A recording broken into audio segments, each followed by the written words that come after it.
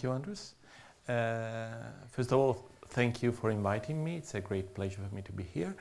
And today I will be talking about a topic that I've been working on lately in the last few years, mainly with Sebastiano Vigna and sometimes with other people. So if you already know uh, about centrality and the history of centrality, you may take a nap for the first part of my talk. But if you are not so familiar with, it, with the topic, then I think I will provide a sort of a bird eye view on the, on the subject and above all on the history of this topic. And then uh, in the very last part, I will focus on a specific measure of centrality, PageRank, I have chosen PageRank because this conference is about the Google metrics, so it's natural to take this as an example. And I will focus on a specific axiom that is rank monotonicity. But this will happen only in the last part of my talk. And if I will have enough time, I also want to show you a sketch of the proof. Uh, more or less, the, the content of my talk will be as follows.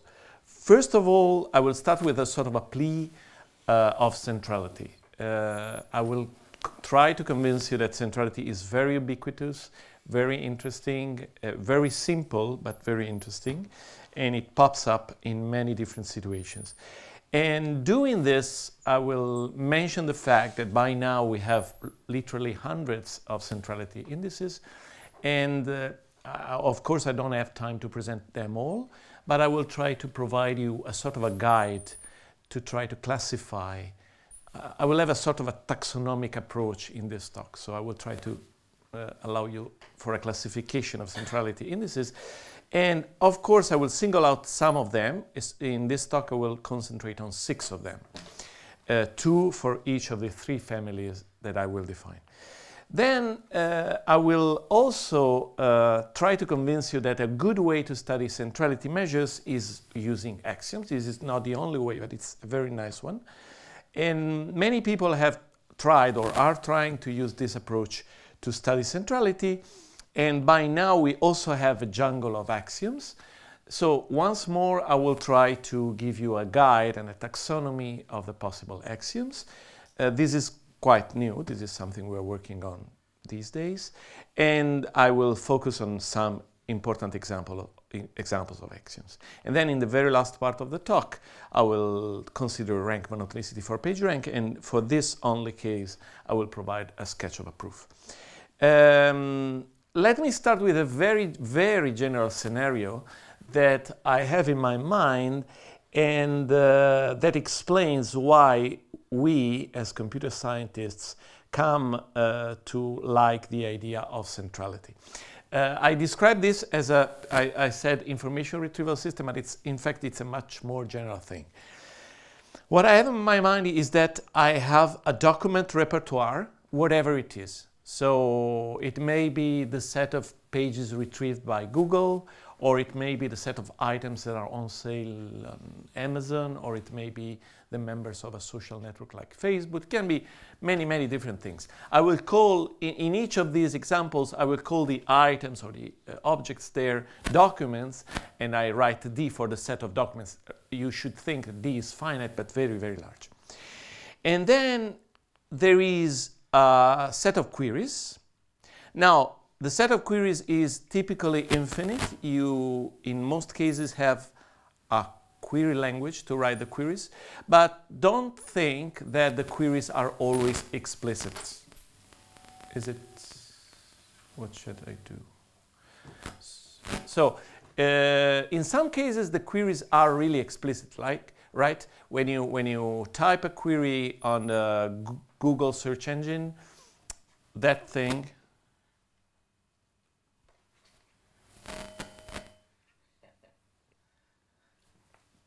Okay. That thing is explicit, so it's an actual user typing an actual query using an actual query language. But in fact, part of the query is implicit because the query that arrives at Google is probably enriched with information that you don't explicitly type, like your location, whether you are typing on a mobile device or not, etc. So this is an example where the query is partly implicit and partly explicit. But in some cases, the query is totally implicit. For example, uh, in product recommendation uh, on Amazon, say, then you are going to be recommended a product based on your action. There is no explicit query there. There is your last purchase or the fact that you have been looking for some specific thing on, on Amazon and so on. All of these I will call query. Uh, and then, uh, then there is the system. So the system takes a query in and what it should do is selecting the appropriate documents, whatever they are. So for, uh, for the search engine, it should select the appropriate uh, pages for your query, but for uh, product recommendation, it should select the, the product that you should be recommended, etc. And typically this, um, this is two things. One is a set of documents that are appropriate, and besides, for each of them, a score. There is a value that measures how much that specific document is appropriate for your query or relevant for your query. And uh, um, well, often, more often than not, D is endowed with a graph structure. Uh, the most the simplest example probably is pages retrieved by a search engine because in that case pages are part of a graph that is called a web graph. But in all the other cases you can think of the graph that is underlying uh, D. Um, now, the selection part of this can be in fact simplified. Many people prefer not to think of the selection, but rather to think that you score all the documents. Simply assign a very, very low number for the documents that you wouldn't select. Uh, with this simplification, which is not a big one, the, the whole system can be, can be described simply as a function that for every query and document pair assigns a score. Uh, and the larger the score, the more appropriate is the query, the document for the query. Now the second simplification is that I will be doing is uh, apparently more crazy because now I am assuming that there are no queries. This seems absurd, but in fact there are two good justifications for this simplification. The first one is that in some cases you are not interested in how relevant a document is for a query, but rather how important the, a document is overall. So you are interested in importance and not in relevance. The second justification for this simplification that I'm going to, to apply is that in some cases you can take the query and modify the document repertoire so to reflect the query you have in your hands. And then after this, you can throw away the query. In both cases, the query is not there anymore, and the system is now simplified as something that assigns a score to every document. The query is not there anymore. And the third simplification uh, is that the, this scoring happens based only on the linkage structure. So we forget about the rest of information, only look at, uh, at the graph structure and assign a score to every document. And this is what people call centrality. Centrality is a way to assign the importance and a measure of importance to every vertex in a graph. Um, this is called centrality measure or, uh, think always think that the nodes of our graph are the documents now. Um, keep in mind that this is called centrality index or centrality measure or centrality score. I prefer not to use the rank, the word rank, if I can, because rank is something else. You use scores to assign a rank to, to the documents, right? right? You can sort the documents by decreasing score. This is what, uh, what people do. But the rank is something different from the score. Uh, at the end of my talk, th this will be su super clear. Uh, it's unfortunate that page rank is called page rank. The correct name should be page score because it assigns a score to every page, not a rank. But uh, nonetheless, I will try to use always refrain to, for, to using the word rank in this context. Now, where centrality was born, where the word centrality comes from, uh, in fact, the first usage of the word centrality comes from social sciences. and it was used for the first time by a group of sociologists working at MIT at the mm, end of the 40s. This group was, was led by um, Alex Bavelas. And uh, from this very seminal work, there was a stream of works that started back then in the 50s and is still going on. Centrality is used a lot by social scientists, psychometrists, uh, sociologists, uh, economists. They all use different uh, kinds of indices for centrality. And here I wrote that it was brought to computer science through information retrieval. This happened sometimes in, uh, with the advent of search engines. But this is sort of um, an a posteriori reconstruction because as computer scientists we, we preferred to ignore the decades of history of centrality that preceded uh, us. In fact, if you, if you read, uh, for example, the PageRank paper, they make no mention of the fact that they are developing a centrality measure, in fact. Uh, it is only recently that we are looking back to the past and see that many things that we as computer scientists are doing have been done much earlier, either by, by social scientists or by mathematicians. I will try to give you some pointers later. So as I said, that it has a key role, and by now there are so many centrality indices that it is sometimes difficult to, to have a guidance. Now, the way I prefer to look at uh, indices is by clustering them into three families. Uh, remember that the overall purpose is to assign a score to every node in a graph that measures how important that node is. The first family is what I call path-based indices. Path-based indices are based on the number of paths, or sometimes shortest paths, passing through or arriving at the vertex you are interested in. Two examples in this family are very famous. They are called betweenness and Katz's index. I will give you the exact definitions in a second. The second family that we like much more than the first one as computer scientists is the spectral family. Uh, it's a very general thing, but we can say that it's uh, based on some linear algebra construction on some eigenvector that is defined on a matrix that is derived from the adjacency matrix of the graph.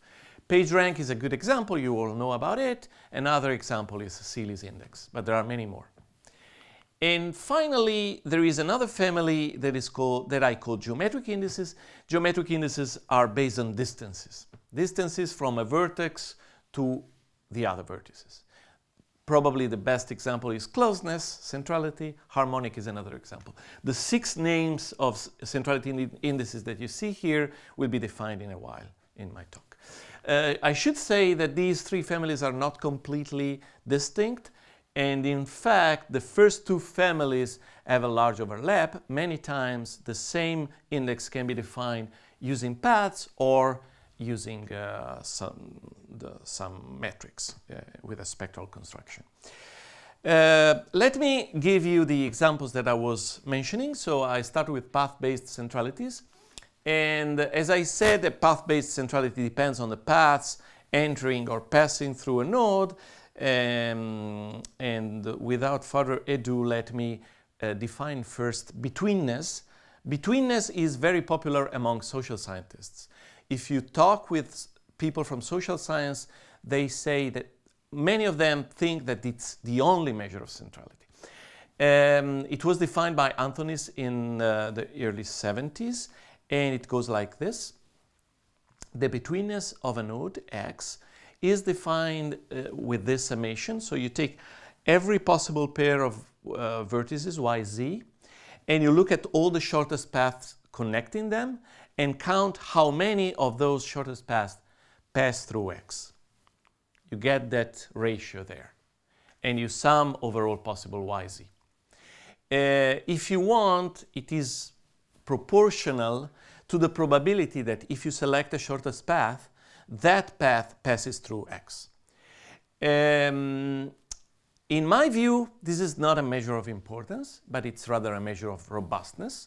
But still, people use it a lot, many, many times with the intention of measuring importance of nodes. And sometimes robustness is, is a measure of importance. It depends on your problem. Katz centrality uh, was defined uh, much earlier. Um, it can be defined in many different ways, but probably the simplest one is, the, is this one. Uh, first of all, Katz centrality is a parametric centrality measure, so you have to decide a parameter that is called alpha in this, in this formula. What you do is you count all the paths ending at x of length t for every possible t. Uh, here I mean all the paths, not elementary paths. And uh, this number is discounted exponentially by this factor here. So essentially, a node is important if there are many short paths arriving at the node or many, many long paths, because long paths are counted less, right? Because there is this decaying factor. So starting from where? Wherever. They should end in x, but from they start whenever. You, you count all the paths. This is Katz central. This is called Katz centrality. Um, ah, by the way, many of these measures were defined originally on undirected graphs. I am in fact defining them for directed graphs. And in, in these cases, there is always the problem of whether considering outgoing paths or incoming paths. And I always use what is usually called the negative definition, which means I consider incoming paths. Because in most situations, you are more interested in incoming paths than outgoing paths because importance is endogenous. It's given by people that is pointing to you. So these, these are the two definitions of, of the path-based tribe. And let me move to spectral centralities. Spectral centralities, in a way, have a long, longer history. And, uh, well, the first, probably simplest definition of spectral centrality is just take uh, the left or right dominant eigenvector of the adjacency matrix. Um, this is called eigenvector centrality. It's not very used for many reasons, but it's simple and one, sometimes it's considered. Uh, in fact, we could trace back its usage from the works by Landau at the end of the 19th century. Landau was interested in uh, uh, evaluating the importance of chess players based on chess tournaments he was manipulating um, matrices that contains 0, 1, and 1 half. 0 means a defeat, 1 means uh, that x won over y, and uh, 1 half uh, was used for a draw. Landau observes that if you take m times the all one vector, you get a reasonable uh, a reasonable measure, right? Because you are simply summing one for every win, one half for every draw, and zero for every defeat. But uh, it is even better to consider the powers of m. And at the end of a long discussion, he says that what you actually need is solving this eigenvector equation. I, I think this, is, this was the first time, as far as we know, that somebody is trying to measure importance based on an eigenvector. And um, this idea was brought to the to computer science, well, not to social sciences, by Berge at the end of the 50s. I don't think he was aware of the work by Landau. He didn't. I don't think he quoted Landau. Um, now, Seeley, at the end of the 40s, proposed a similar idea to measure children popularity. He had this group of children and he wanted to measure who was the most popular. And he came out with this recursive formula. The popularity of X, of a guy X, is a summation of the popularity of the guys Y that like X. Y, here the arrow of the graph means Y likes X. Um, but there is a small uh, variant with respect to eigenvector centrality that is, the popularity of a guy is divided by the number of people he likes. This is the out degree of y in the graph. Um, this is the difference, oh sorry. This is the difference between eigenvector centrality and Seeley's index. Eigenvector centrality is the left dominant eigenvector of the adjacency matrix, whereas Seeley's index is the left dominant eigenvector of G after row normalization. I, I write GR for this. And they are two different indices. Now let me come to PageRank, which is something you all know. Uh, it was defined in 1998.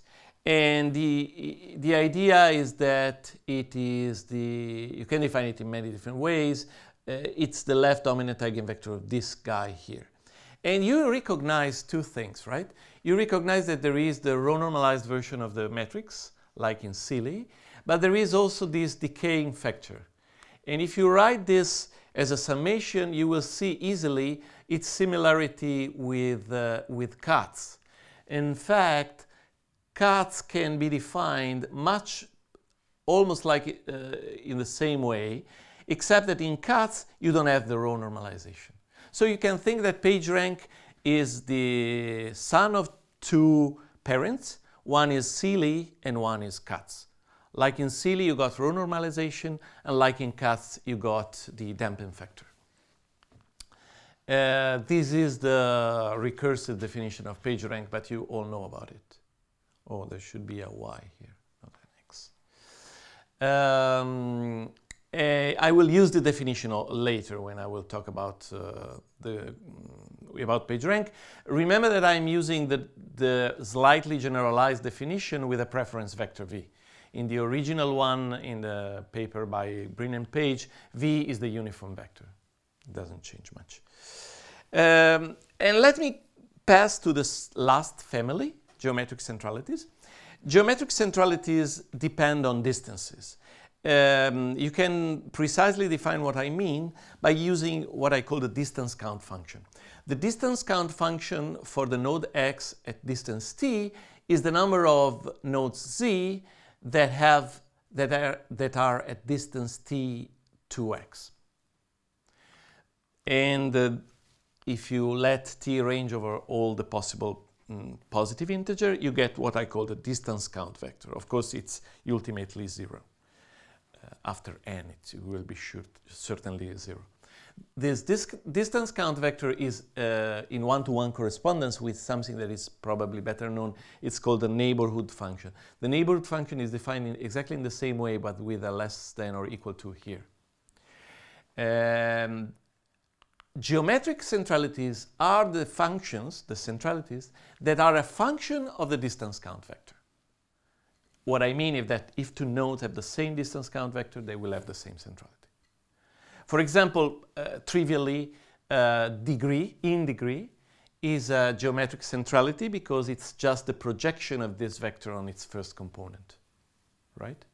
The first component of this vector is the in degree, which is by itself a measure of centrality, and it's uh, the geometric centrality.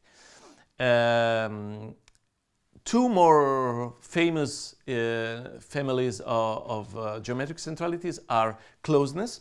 Closeness is usually defined as the average distance from a node to all the other nodes in the network, but in fact, you want to take the reciprocal because you want important nodes to have large centrality as usual, so you take just the reciprocal of, the sum, of this summation here. You must be careful because closeness was defined by Bavelas, it was actually the first centrality measure that was defined in social sciences. But Bavelas had in his mind undirected and connected graphs. If the graph is directed and possibly non-strongly connected, you must be careful in this summation. And what you do is you take this summation only in the same connected component as x, or if you prefer, you take it only for the y's that are at finite distance to x. This causes a number of problems, uh, uh, a phenomenon that is called big in Japan effect. Uh, that is that people that living, are living in a small community tend to be considered more important than they should. Uh, there are some ways to adjust this. Uh, one possible way is considered in, is considering instead what is called harmonic centrality. The difference between the two formulas is very small, but uh, at least uh, here you can consider the summation over all possible y's with the proviso that when this guy here is infinite, you just sum zero. Uh, the idea of harmonic centrality was inspired by uh, works by Marchiori and Latora of the early 2000s, but can be dated back to the 50s. So, with all these definitions in mind, remember that the four, uh, oh, sorry, the six definitions that I gave are just uh, the tip of the iceberg. There are so many possible centrality measures, but one problem that one often tries to, to solve is which centrality measure is better or how do, does this centrality measure compare to this other one. Uh, the study of centrality measures can be done either individually, you can focus on a specific measure and study it at depth, like PageRank, and study how PageRank depends on the graph structure, on the parameters, on the parameters in the case of PageRank are the damping factor and the preference vector, and blah, blah, blah. So you can study a measure in depth individually. Or you can try to compare different measures and you can do both things in two different ways. One is by using some external source of ground truth, if you have one, or you can uh, assume an axiomatic approach. You state a property that is desirable or undesirable for centrality and then you check if which of the measures do satisfy that property. I think that the axiomatic approach is nice because at the end of the day, it allows you not to decide which measure is more important, but rather how measures are related to uh, each other. Much like the T axioms in topology that allow you to classify topological spaces. So uh, axioms for centrality uh, are not a new thing. You can trace the study of these axioms back to Sabidussi in the 60s. Many people are trying to do this, right? They are trying to define axioms that are suitable and then trying to see which measures satisfy it. Uh, satisfy them. Sometimes in a comparative way, but sometimes aimed at specific indices. For example, uh, here I'm, I'm quoting two works where they only study axioms for PageRank. Sometimes they even have, like in this work, they even have a sort of a hardcore approach. They want to, to define a set of axioms that is necessary and sufficient for a given, uh, for a given index. Uh, by the way, they succeed in this case, but only for a sort of a degenerate, degenerate version of PageRank without alpha. Uh, now, once more, I think that the axioms are so many that it is wise to try to classify them. And I am trying to do that using three classes that are interesting. One, one I will call invariance properties. Uh, then I will talk about score dominance properties. Then I will talk about rank dominance properties. And I should say that there are also many other axioms that don't fall in these categories. But the th first three categories are interesting by themselves. Let me start precisely with invariance properties. And first I want to give you uh, a flavor of how those properties are usually stated. Uh, usually they are stated like this. You have two graphs, G and G prime, and you have two nodes, one uh, living in G and the other one living in G prime. And these two things satisfy a, a number of constraints. And under these constraints, you want that the score of x in G is equal to the score of x prime in G prime. Now, depending on the constraints, the actual constraints, you get different invariance properties. Let me start with a very simple one. That is what I call invariance by isomorphism. Uh, this one is the following. G and G prime are two graphs that are isomorphic. And F is the graph isomorphism. You take a node in G and its image in G prime, and you want the two nodes to have the same score. Now, this property is so obvious that in fact it is given for granted. When we say centrality, we mean a measure that satisfies this action, right? Because we want centrality to depend only on the graph structure, not on the name of the nodes. So when we define centrality, we should always state it using this property, which is fundamental. Even if usually people don't do that. But So this is a very nice invari uh, invariance property and all the centrality measures that I defined and that are defined in the literature do satisfy this. You can, you can do one step further and consider another kind of invariance, which I call invariance by neighbors. Invariance by neighbors, in this case, you have just one graph, G, and two nodes living in the same graph. And these two nodes have the same in neighbors and the same out neighbors. Under this condition, you want x and x prime to have the same score. Uh, otherwise said, if you take two twin nodes, nodes that have exactly the same interface to the graph, by interface I mean incoming edge, edges and outgoing, incoming arcs and outgoing arcs, then you want them to, to have the same score. Is it satisfied by the measures I defined? Uh, well, yes, the answer is yes. In fact, it is easy to verify that all geometric centralities do satisfy this property. And the same happens for spectral centralities. And you can take this one step further, right? Because all the measures that I mentioned so far only depend on incoming links. So you may think that this property, this invariant property, can be strengthened uh, by what I call invariance by in-neighbors. Invariance by in-neighbors simply means that if you have two nodes in a graph and they have the same in-neighbors, they should have the same score. Is it true for the measures I define or, or isn't it? What do you guess? Well, at the beginning, when I saw this, when I thought about these axioms, I thought that it, all the measures that I defined, uh, in fact, satisfied it. But it's wrong. It's not true. And I give you uh, an example of why it's not true. I will show that geometric centralities in general cannot satisfy this, this kind of invariance. Take these two guys. So x and x prime are two guys living in the same graph.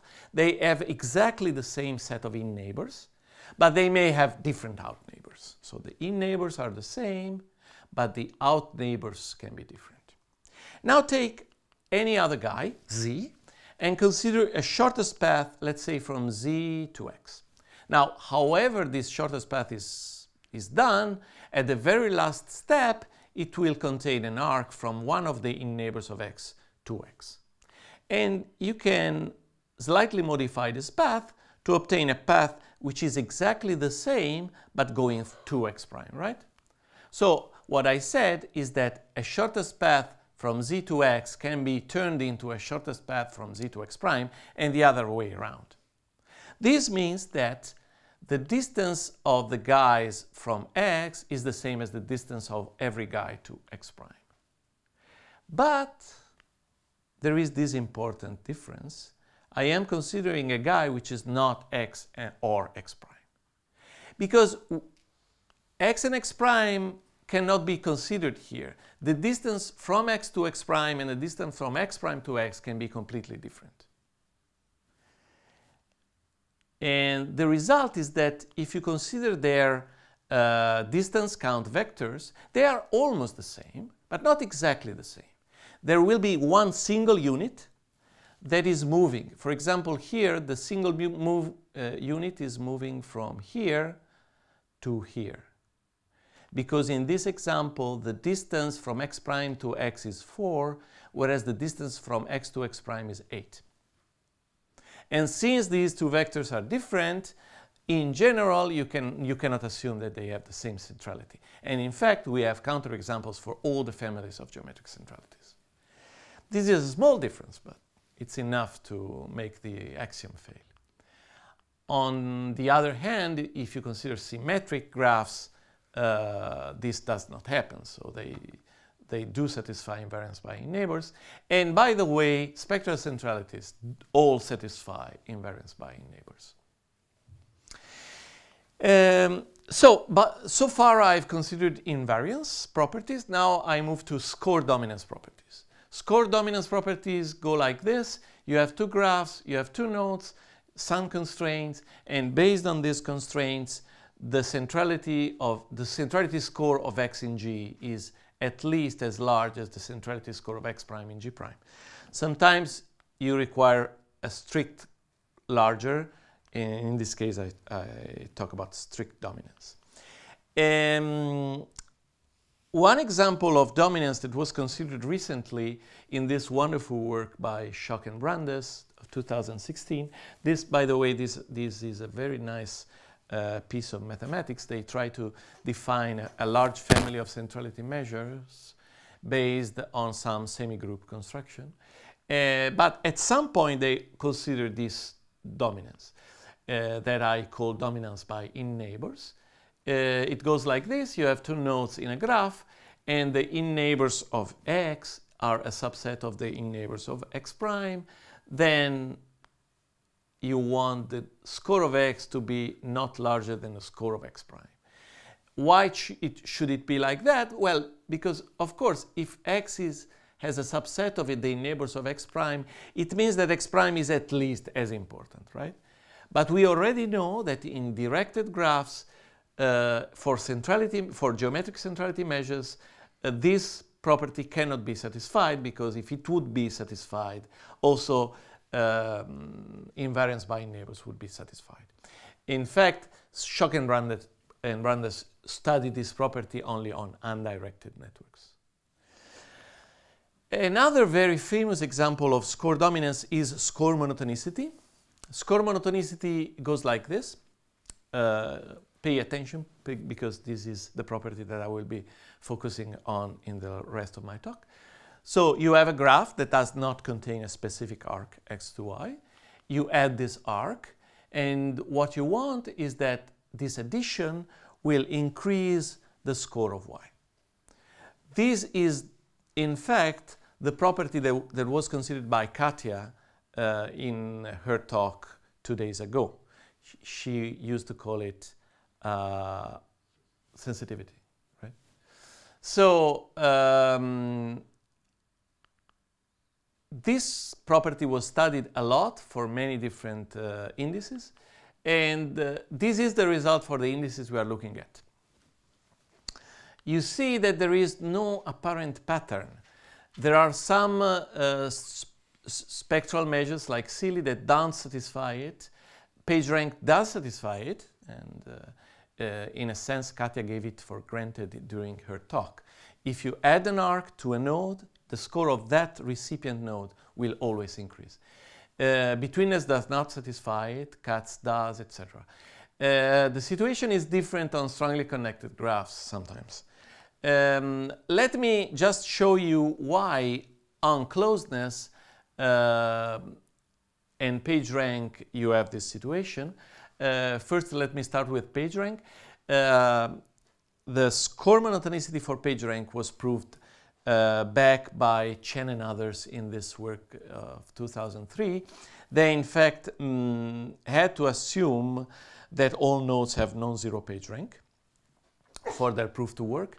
We generalized it uh, under a much weaker assumption. We only assume that the uh, source node uh, has a positive score. For closeness, the fact that closeness in general does not satisfy score monotonicity can be shown on a very small example. This is the example. Uh, take this graph here. Now, the centrality of y is 1 because it, there is only one node that can reach y and it, has, it is at distance 1. But if you add the arc from x to y, now you have two guys at distance 1 and the overall centrality of y becomes 1 half. So in this example, you add one arc to y and you decrease the centrality of y instead of increasing it. On strongly connected graph, uh, though, closeness centrality does satisfy the axiom, and the reason is very simple. This is the, the definition of closeness, right? And in, on, in a strongly connected graph, this summation is ranges over all the possible y's.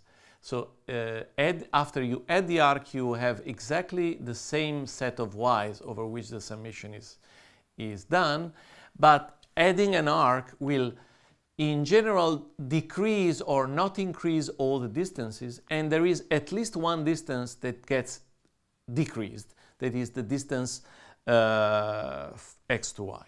So the, this summation strictly decreases which means that the closeness strictly increases.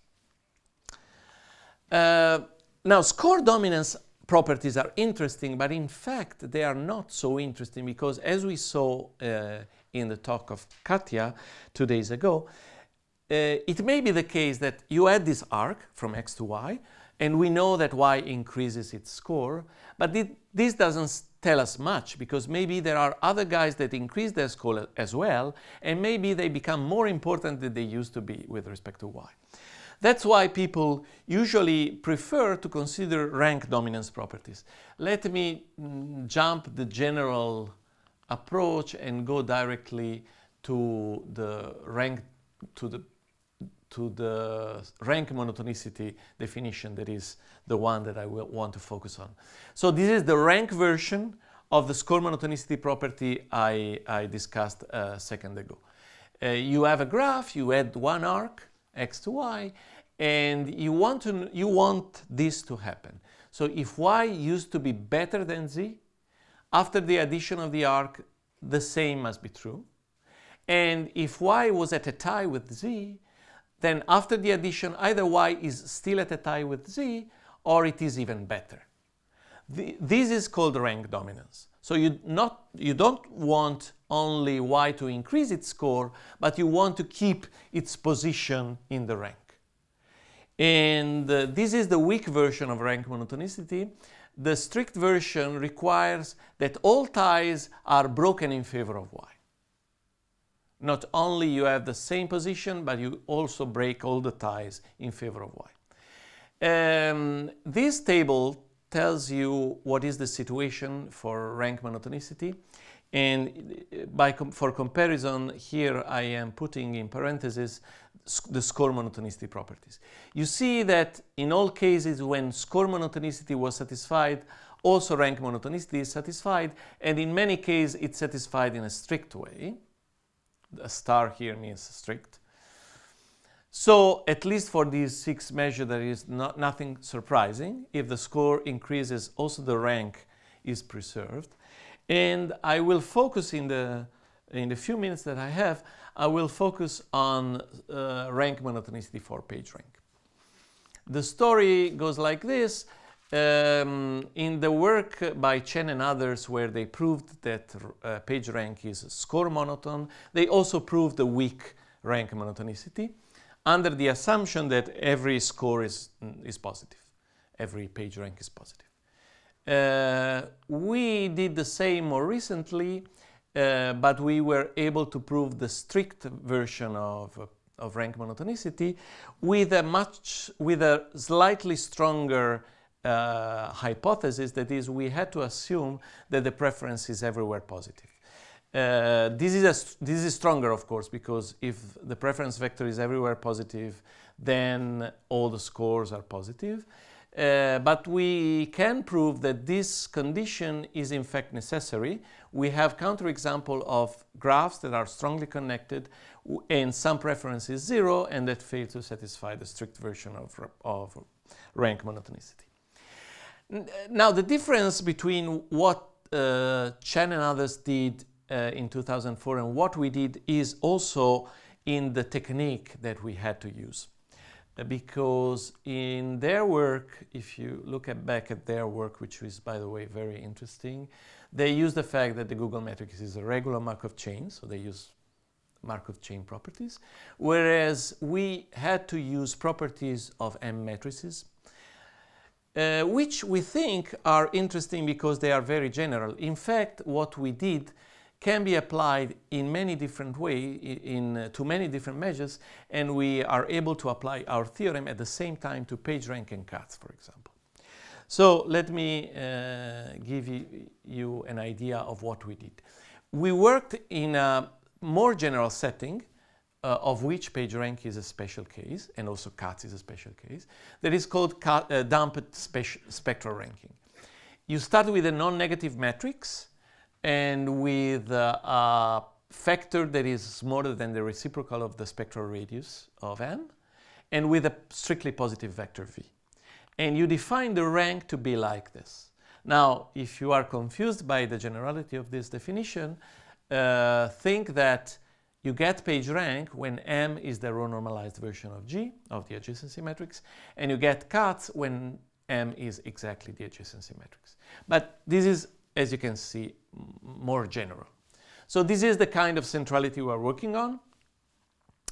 And uh, the basic lemma that we use is the following. It's, and it's an interesting lemma, and I want to uh, discuss it in detail because I think it can find applications even to other problems. It's a lemma about inverses of M matrices. So you have this M matrix here, and you take its inverse, and you define the rank by multiplying C uh, by a, a preference vector V. Now consider in this matrix C two columns y and z and compute all the ratios between elements in the yth column and elements in the zth column. Of course, to do this, you, you must, uh, for the moment, uh, assume that z does not contain any zero. Now, among all these ratios, there is one that involves the diagonal in the column y, this ratio here. Now, it turns out that this ratio is the largest. Assuming that CYZ is non-zero, this ratio is the largest of all ratios. Uh, you don't need to write it as a ratio, in fact, you, you can write it this way.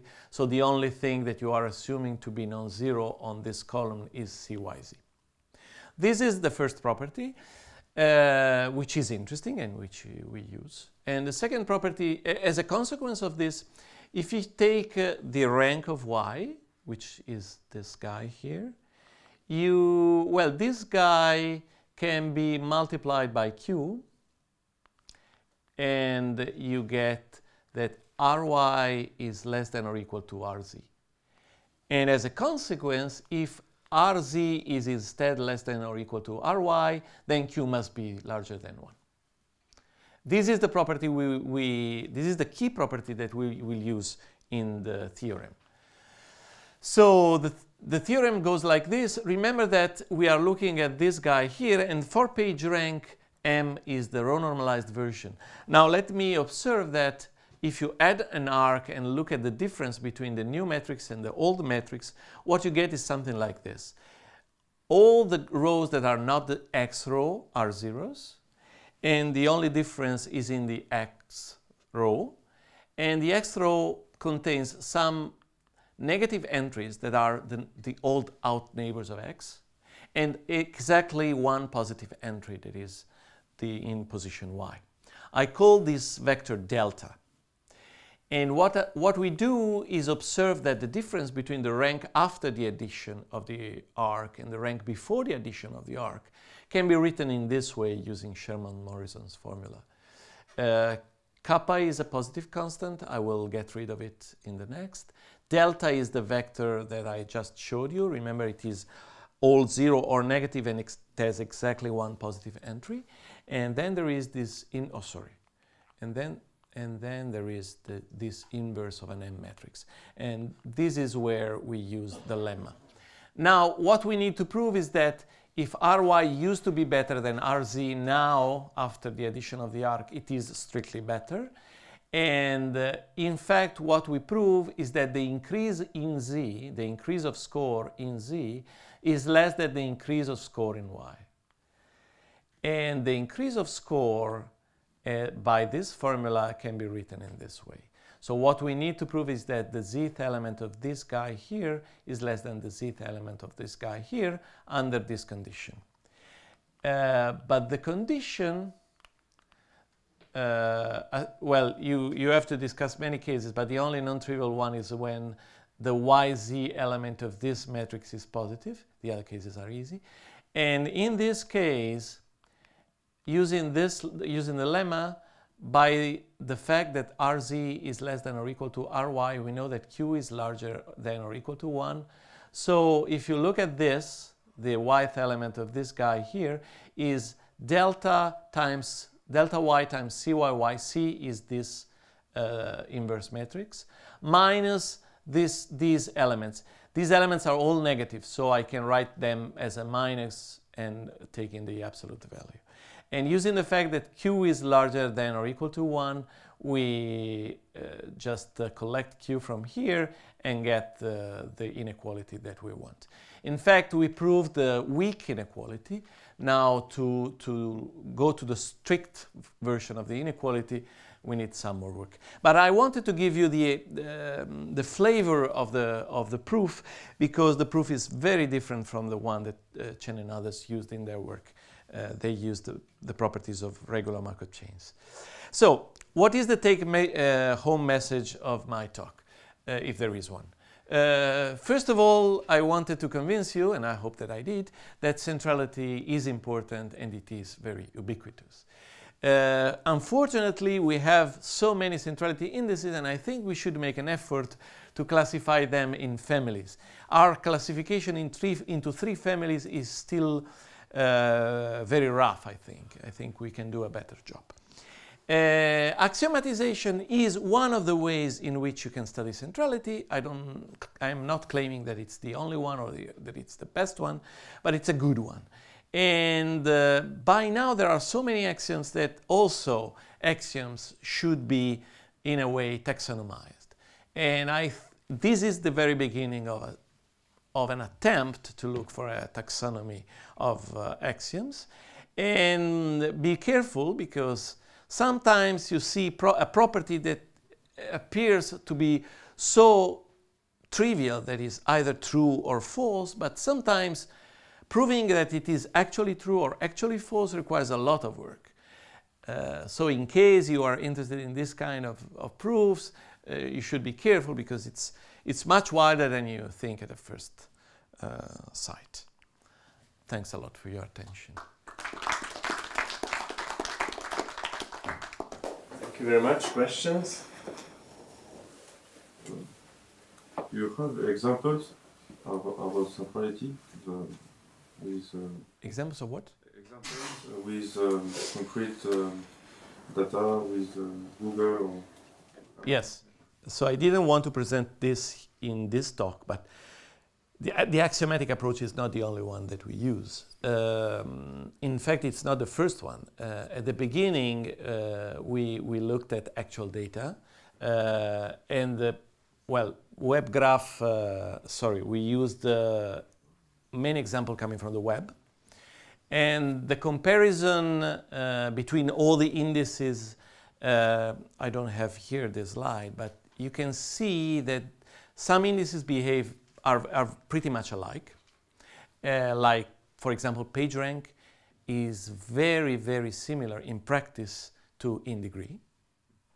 Uh, PageRank is also quite similar to Katz, but it's, for example, very different from closeness. And by the way, it's, it is based on these uh, observations that we observe that betweenness is an index by itself. It doesn't have any relation with any other index. So, I mean, uh, to, in a nutshell, we did and other people did a lot of work on practical uh, graphs and on these indices. The problem is that what you come out with is you get these two ranks and then what? You have closeness centrality of the old uh, UK pages of a large web graph, and then you have PageRank centrality. You can compare them with uh, Kendall's tau, let's say, to see if they are similar or not. But if you, if you decide that they are not similar, then deciding which one is better is a tough job. You must have some ground truth to do that. you discussed the change of page rank when you add a link. Mm -hmm. So if you have weighted graph and uh, you change the weight, can, can everything can be generalized? Or? Probably so. Uh, yes, most probably so. So it's a, it's a matter of sensitivity. Everything, every result we used is in fact continuous. So I don't think I think it's easy to generalize to weight to weighted PageRank. But in that case, uh, it is not really clear of what you want for rank monotonicity. That you, if you increase by epsilon the weight... I discussed was variation by epsilon of weight. Yeah. I, I am pretty sure that for every positive epsilon, if you increase the if you increase the weight by epsilon, you get strict dominance. But I'm not 100% sure, but probably it's like that. More questions? Y- y- You spoke about uh, centrality in terms of vertices, for Mhm. vertices, but uh, uh, are there uh, measures of centrality for edges? Yeah, betweenness was originally defined for edges. Yes, uh, yes, of course. The, many people study centrality on arcs or edges, depending on whether you are considering directed or undirected networks, it, it, which is also quite interesting. You can do it directly or you can do it indirectly, looking at how sensitive the network is with, by, by the deletion of an, of an edge, right? An edge is important if when you delete it, you change a lot, you disrupt a lot the centrality of the nodes.